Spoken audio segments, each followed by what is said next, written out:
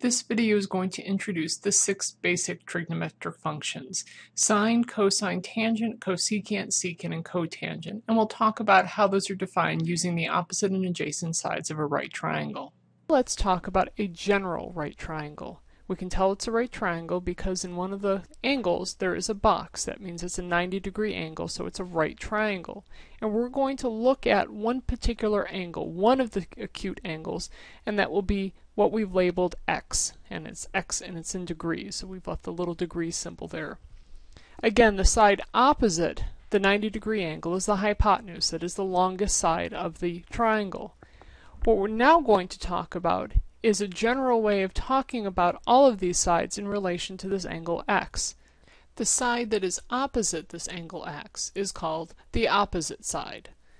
The side that touches is a part of this angle x is called the adjacent side. So we now have the hypotenuse, the side opposite x, and the side adjacent to this angle x.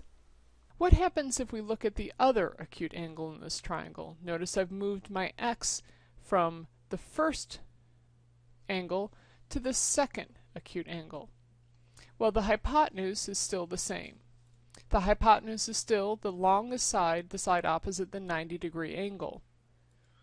But now my opposite leg, which is still across from my new angle x, is what used to be the adjacent side and the adjacent side of this new angle x is now the longer leg.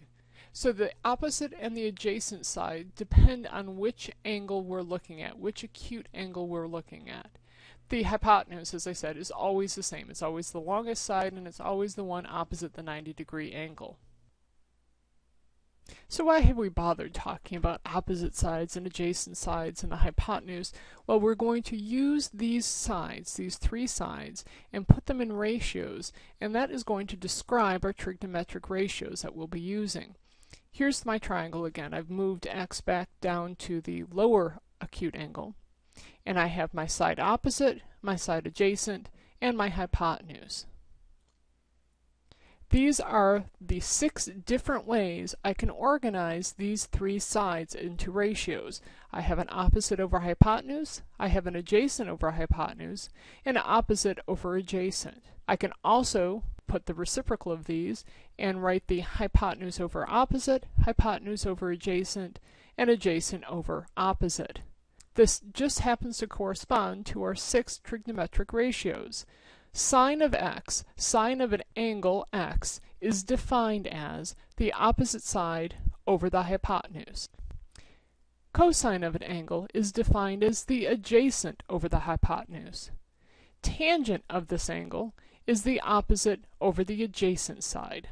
We also have three additional trigonometric functions. We have the cosecant of x, and that's equal to the reciprocal of sine x if you notice. We'll hear more about that later but that's defined as the hypotenuse over the opposite. The secant of x is equal to the hypotenuse over the adjacent side, and cotangent of x is equal to the adjacent side over the opposite side. And that's how the six basic trigonometric functions are defined. We have sine, cosine, tangent, cosecant, secant, and cotangent.